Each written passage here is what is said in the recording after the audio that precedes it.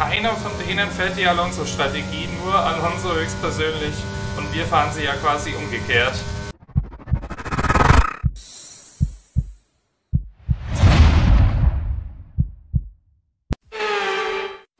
Startausstellung für den Grand Prix von Spanien. Es gibt eine Pole Position und zwar für Fernando Alonso. George Russell mit einem richtig guten zweiten Platz. Wo kommen Perez und Verstappen im Red Bull? Das ist die große Frage hier in Spanien. Auf Platz 3 folgt dann erstmal Perez. Genau, dann Verstappen auf der 4, das sind sie auch schon. Stroll auf der 5. Hamilton dann Sechster vor Norris und Sainz, die beiden Ferrari etwas geschwächt. Albon mit einem guten neunten Platz vor Charles Leclerc. Wir kommen dann direkt dahinter auf Platz 11 vor Ocon und Gasly. Zunoda auf der 14 vor Oscar Piastri mit einem guten Qualifying in Williams vor Magnussen, Schumacher und Drogovic. Und dann haben wir auf 19 und 20 Show und Lawson, auf 21 Schwarzman vor Latifi. Und damit Servus und herzlich willkommen zu F122 My Team Karriere mit Alibaba Racing. Wir stehen kurz vor dem Grand Prix von Spanien und es geht los hier in einer relativ guten Startposition Platz 11. Neunter ist Albon, also es passt soweit vom Qualifying her. Wir haben Q3 knapp verpasst, Albon hat es reingeschafft. Ähm, aber er war auch ein paar Zehntel schneller als wir mit seiner Runde, die ihm Q3 gebracht hat. Von daher hat er sich das auch verdient. Die Frage ist, wie gehen wir in dieses Rennen rein? Ähm, Spanien ist so, ja, wie soll ich sagen, ist eine coole Strecke, aber es ist echt hart, da mit der Konkurrenz mithalten zu können. Die machen da echt äh, eine gute Pace. Und ähm, ich finde es hier sehr interessant, was uns die, äh, das Team vorschlägt von den Strategien. Entweder Soft Hard oder Medium Hard. Und da müssen wir mal reinschauen hier. Vielleicht ist es tatsächlich auch eine Möglichkeit, ähm, Medium Soft zu fahren. Das ist echt übertrieben, aber Warum nicht? Also warum sollten wir das nicht riskieren, mal äh, so eine Strategie zu fahren, wie das Alonso äh, gerade am Ende der letzten Saison hin und wieder mal hinbekommen hat? Ähm, ich weiß nicht, es kann schon sein, dass es richtig nice wird. Und hier von der Berechnung her ist es sogar schneller. Also wer weiß, es könnte sein, dass es klappt. Ähm, ich möchte es riskieren. Vielleicht, ja, entweder 21 oder 22. Das müssen wir mal gucken. Lass uns das einfach mal probieren. So, noch 150 Meter bis zum Start, bis zu unserer Startposition, unsere kleine Startbox, Platz 11. Die Reifen nochmal auf Temperatur gebracht. Direkt hinter unserem Teamkollegen Alvin sind wir da. 33 Runden, Spanien stehen uns bevor hinter uns die beiden Alpinen mit weichen Reifen. Die wollen gleich pushen, da bin ich mir sicher. Aber sehr guter Start für uns auf Medium-Reifen mal zur Abwechslung. Da können wir gleich Leclerc angreifen. Also jetzt gegen Norris. Sainz ist schon ein bisschen weiter vorgekommen an Hamilton vorbei. Wir sind dran an unseren Teamkollegen. Leichter Kontakt mit Norris, aber wir sind erstmal durch an Albon. Vorbei an Albon, richtig gut. Verbremser hier in diese langgezogene Linkskurve hinein. Alban ist neben uns, aber wir können uns doch mal durchsetzen gegen unseren Teamkollegen. Turbulente erste Runde, Platz 9 vor uns. Das ist schon mal ein guter Start. Norris hat mit den weichen Reifen da vorne sogar ein, zwei Plätzchen verloren. Und wir versuchen jetzt natürlich am Feld dran zu bleiben und dann mit DRS auch ähm, hier an der Top 8 dran zu bleiben. Und dann haben wir ja vielleicht, wenn alles hinhaut mit unserer Strategie, am Ende des Rennens noch einen großen Vorteil und können vielleicht nochmal angreifen. So, wir starten Runde 4, sind im DRS-Fenster von Norris. Das hat soweit also geklappt. Ich habe nur irgendwie vergessen, das gerade anzumachen, wie peinlich. Und wir haben eine gute Top-Speed, dafür sind wir in den Kurven ein bisschen langsamer als die Konkurrenz. Aber das ist, glaube ich, ganz gut, gerade wenn wir verteidigen müssen oder wenn wir dann irgendwann mal angreifen werden vielleicht. Wichtig ist bei unserer Strategie vor allem, dass die Reifen einigermaßen gleichmäßig abgenutzt werden. Die linke Seite und vorne ist ein bisschen schlimmer, aber noch sieht es einigermaßen gleichmäßig aus, was hier passiert und das ist natürlich sehr wichtig. Denn sobald wir irgendwie mal entweder das Heck oder vorne haben oder so, wo die alten Stöcke abgenutzt sind, dann wird es sehr, sehr schwierig bei einem höheren Abnutzungsgrad. Dann wird das Auto wahrscheinlich ausbrechen oder eben nicht mehr gut einlenken und das wollen wir nach Möglichkeit verhindern. Es wird eh schwierig mit unserer Strategie, aber es macht Spaß und Albon hat sich mittlerweile ein bisschen freigefahren von seinen Verfolgern ist jetzt da hinter uns auf Platz 10 und dann ist eine kleine Lücke zu Gasly, der da mit weichen Reifen langsam versucht, das Feld aufzurollen von hinten, hat den Start ja so ein bisschen verpasst. Und jetzt sehen wir auch gleich mal, wie gut unsere Topspeed ist. Obwohl Norris auch DRS hat, kommen wir da extrem nah ran. Können wir da vielleicht sogar einen Angriff setzen? Das ist eine kleine Überraschung. Aber tatsächlich können wir vorbei am Ferrari. Wahnsinn, richtig gute Pace. Wir haben uns da lang genug dahinter gewartet und wenn sich die Gelegenheit bietet, warum nicht? Wir werden eh wahrscheinlich durch die Boxenstops die Position wieder verlieren, aber es hilft ja, wenn er dann nicht vor uns ist als erstmal, dann haben wir ein bisschen Zeit gut gemacht, auf jeden Fall. Krass ist es, dass da tatsächlich ein ganzer Zug von Autos vor uns jetzt fährt. Das ist bis vor zu Platz 2, bis zu Perez. Ganz vorne Alonso fährt weg. Vielleicht hat er auch die Alonso-Strategie. Woher die wohl nur kommt. Vielleicht hat er da Softreifen drauf und ist deshalb so schnell. Das kann sein. Und dann versucht er vielleicht auch wieder die 1 Stop. Wer weiß. Wir können extrem konstant, extrem gut mitgehen mit den vorderen Leuten und dabei gleichzeitig ein bisschen Reifen schonen. Wir haben keine Quersteher oder ähnliches drin aktuell. Das ist wirklich gut. Den Lenkeinschlag nutzen wir auch nicht immer voll aus. Das hilft auch zum Reifensparen. Und jetzt haben wir die Chance, Hamilton anzugreifen. Und ich glaube, das wird ähnlich wie gegen Norris gut funktionieren hier. Gegen Hamilton wieder außenrum. Wir haben so eine gute Topspeed hier. Wahnsinn können wir uns problemlos am Mercedes-Piloten vorbeischieben. Richtig, richtig gute Pace für uns heute. Ich glaube, wir haben heute ein großes Ergebnis vor uns.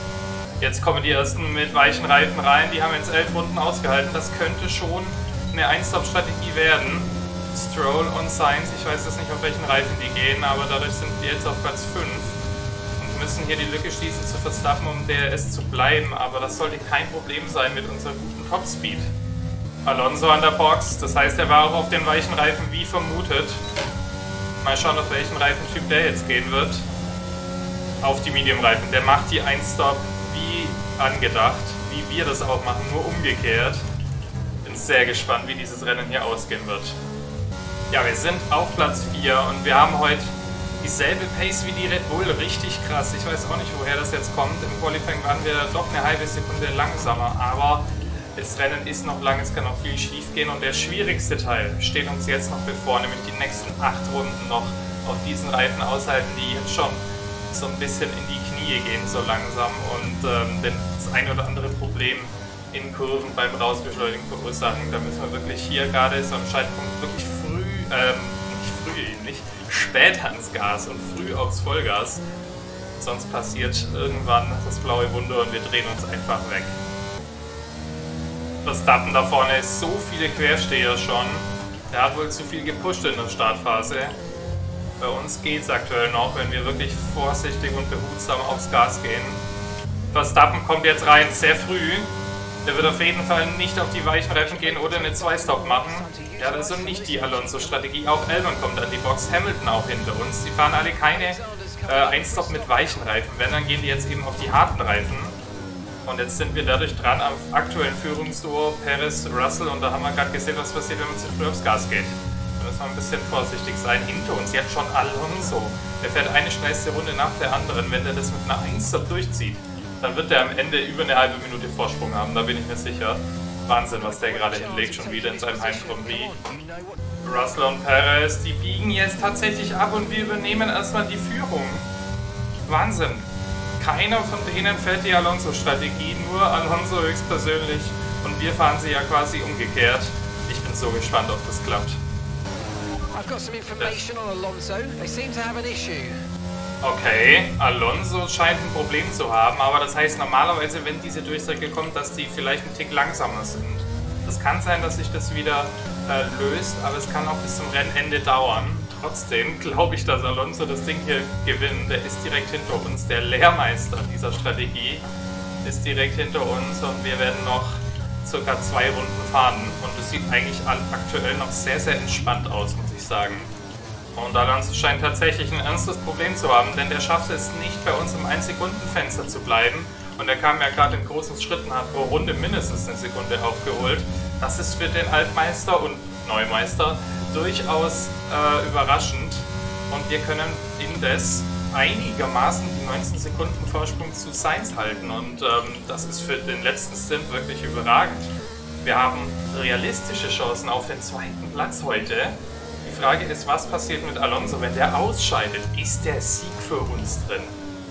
Wir haben nochmal gepusht, was das Zeug hält. Alonso hat wirklich große Probleme. 3 Sekunden Vorsprung und ca. 17,5 sind es auf Carlos Sainz.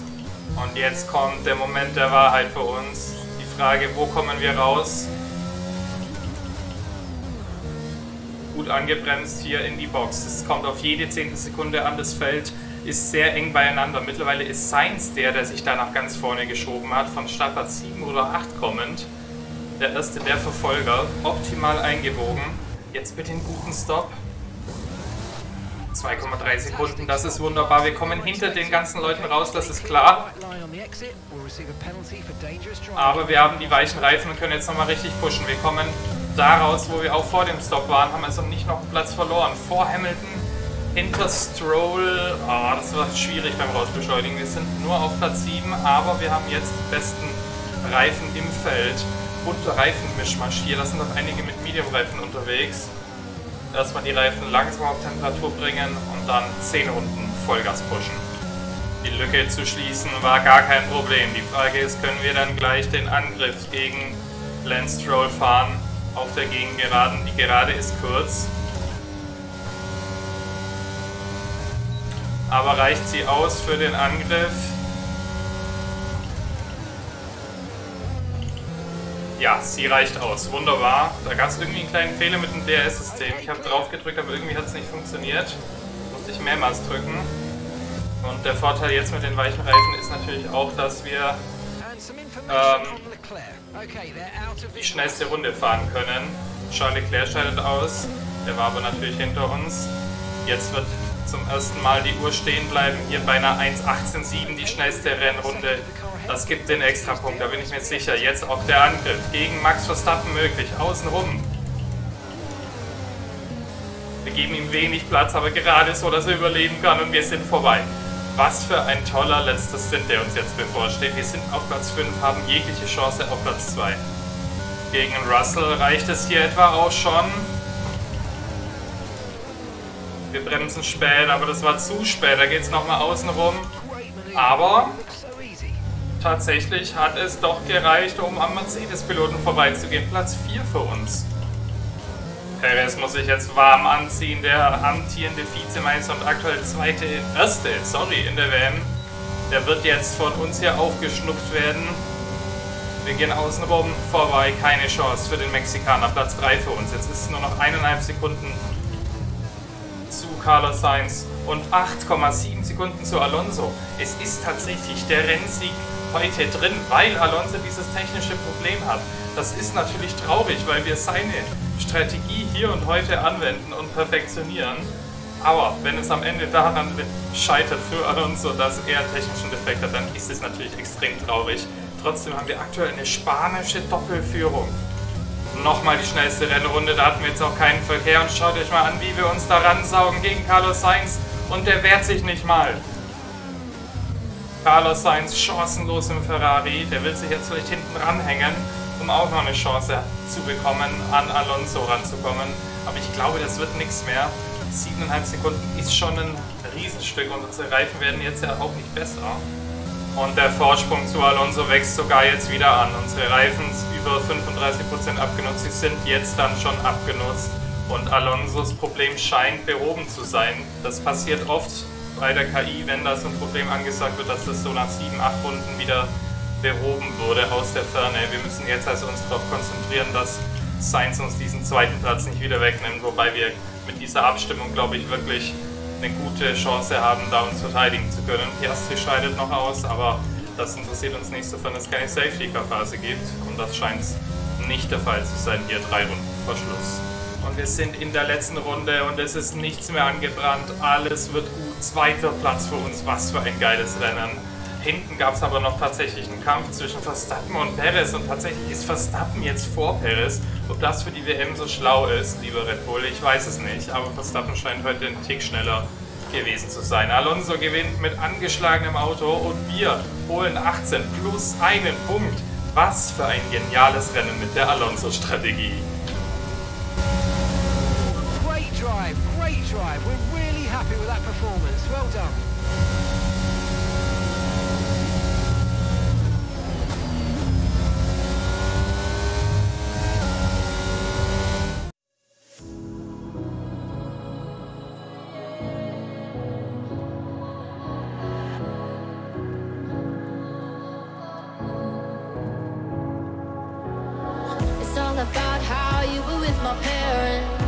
And changed their mind. Cause you were sweet and looking like you care, boy. That was hard to find. I caught feelings, how could these feelings? I caught feelings, how could these feelings? I caught feelings, I caught feelings, how could these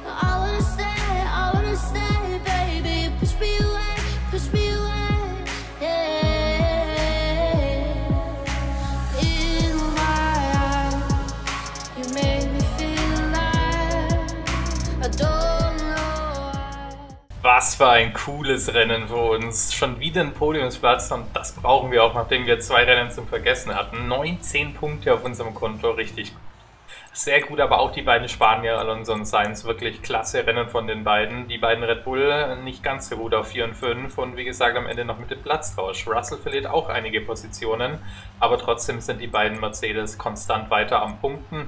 Stroll auf der 7 verliert auch zwei Plätze im Rennen, obwohl er den übermäßig guten McLaren unter dem Hinterrad und Norris wird nur Achter. Albon holt sich am Ende immerhin noch einen Punkt für unser Team, das ist hilfreich.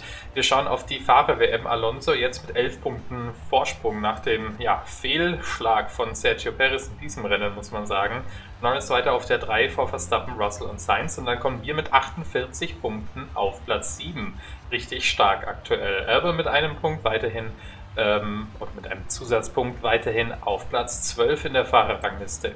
Konstrukteursrangliste keine Verschiebung, aber wir kommen gefällig nah ran an Mercedes. Und wenn Hamilton weiter nicht so ganz konstant punktet, dann äh, ist es durchaus hier eine Option, dass wir mit Mercedes kämpfen können um Platz 4. Ich glaube, die Top 3, da kommen wir nicht hin, vor allem wenn Albon weiter nur so auf Platz 9 oder 10 oder 11 ins Ziel kommt. Aber ich denke trotzdem, dass wir da mit dem fünften Platz in der Konstrukteurswärme aktuell zufrieden sein können. Gegen Alpine und Alfa Romeo aktuell, glaube ich, sieht es auf jeden Fall sehr gut aus. Klar liegt es auch an unseren Big Points, aber da werden ja hoffentlich noch 1, 2, 3 in diese Saison kommen. Das ist zumindest der große Plan. Zurück im Hauptmenü, endlich ist nichts kaputt gegangen. Das sieht alles wunderbar aus aktuell. Ich denke auch beim Getriebe, gucken wir da noch zur Sicherheit. Ja, 18%, das passt. Das war ja auch erst das zweite Rennen, glaube ich, genau mit diesem Getriebe, nachdem das uns ja ähm, am Anfang einen Strich durch die Rechnung gemacht hat. Schauen wir jetzt auf die Teamaktivitäten. Es gibt nur zwei Tage Zeit bis zum Rennen ähm, in Monaco und an sich würde ich ja die Podiumsplatzparty natürlich machen, wegen, der, ähm, wegen des Moralboosts. Und ich denke, das macht grundsätzlich auch Sinn, aber andererseits hier Tempo- und Konzentrationsbonus Albon, damit er Punkte macht. Ich bin gerade ein bisschen hin und her, gericht, äh, hin und her äh, gerissen. Ich glaube, wir machen tatsächlich das Gewichtetraining und nicht die Podiumsplatzparty, auch wenn wir das auf jeden Fall nach dem zweiten Podiumsplatz und dem besten Saisonergebnis mit dem zweiten Platz äh, durchaus verdient hätten, da eine kleine Party zu machen. Aber die Vorbereitungszeit zum Monaco Grand Prix ist kurz, deshalb sollten wir es nicht mit Party übertreiben. Von daher machen wir das und schauen jetzt lieber in die Forschung und Entwicklung, ob wir da jetzt noch hier was in die Wege leiten können. Vielleicht beim Antrieb, da haben wir jetzt schon länger nichts mehr machen können, weil alles so teuer ist. Wenn wir hier die Kraftstoffeffizienz machen, das ist doch gar nicht so verkehrt, dann kommen wir da ein Stückchen weiter vor und ähm, das denke ich, sollten wir auf jeden Fall machen. Das kommt eh erst nach Silverstone an. Also es dauert einfach hier diese teuren Upgrades und äh, die Rotoren sind hier auch noch am, ähm, ja, äh, am entwickeln. Ich hätte wahrscheinlich eher hier das Lager, nee, den Auspuff, so heißt es, nehmen sollen. Denn da hätten wir einen größeren Sprung nach vorne gemacht. Die Treibstoffeffizienz ist nicht so wichtig, aber egal. Jetzt haben wir das schon in die Wege geleitet. Wir sind ja auch nicht schlecht unterwegs, das passt. Und wenn wir hier auf die Grafik gucken, sehen wir auch, dass wir einen großen Schritt gemacht haben und auch weiter große Schritte machen werden. Und ähm, klar macht die Konkurrenz ähm, auch nicht nichts, von daher wird sich da was verschieben, aber ich denke, wir können in dieser Saison auf jeden Fall hier in dieser Top 5 bleiben. Ja, ein Marketingereignis haben wir hier noch. Wir können Geld ausgeben und Teamanerkennung bekommen wegen Fanartikel. Das würde ich sagen, machen wir doch, damit wir da Stufe 25 noch irgendwann erreichen, um den letzten Sekundärsponsor noch freischalten zu können. Außerdem haben wir zwar 7,5 Millionen Dollar, aber der nette Hinweis hier, der äh, wird uns schon oder macht uns schon darauf aufmerksam, dass ja irgendwann die Saisonhälfte ansteht, dann zu Frankreich, glaube ich, oder Österreich oder irgendwann da ungefähr. Äh, dann müssen wir den Vertrag mit unserem Teamkollegen verlängern und das werden wir auf jeden Fall tun. Das kostet aber über 10 Millionen Dollar, deshalb sollten wir hier auf jeden Fall noch ein bisschen Geld ansparen und nichts ausgeben. Lieber vorspulen und dann war es das auch schon, denke ich, von diesem Rennen, denn wir können nichts weiteres tun. Ähm, es war richtig nice, dass wir da von Platz 11 mit der Alonso-Strategie auf Platz 2 vorfahren konnten und fast noch die Chance hatten, Alonso zu schnappen, weil der eben einen Defekt hatte. Aber am Ende zweiter Platz 19 Punkte, unglaublich gut. Ich hoffe, dass wir in Monaco endlich mal ein gutes Rennen zeigen werden. Das war die letzten Jahre eher so ein bisschen schwierig. Ich werde auf jeden Fall dran denken, beim Qualifying die KI-Stufe runterzustellen, weil da haben wir gesehen, im Qualifying haben wir irgendwie gar keine Chance in Monaco. Ich weiß auch nicht, was da los ist. Und im Rennen dürfen wir es dann wieder ein paar Stufen nach oben stellen, ohne dass es einen Pace-Unterschied macht. Da ist also irgendwas ein bisschen verbuggt aus meiner Sicht. Trotzdem werden wir uns da dann erst nächstes, äh, im nächsten Video dann mit auseinandersetzen. Ich würde sagen, vielen Dank fürs Einschalten. Macht's gut, ciao und Servus. So ihr Lieben, wenn euch das Video gefallen hat, dann lasst doch bitte den Daumen nach oben da, abonniert den Channel und dann sehen wir uns beim nächsten Mal wieder. Macht's gut bis dahin, ciao und Servus.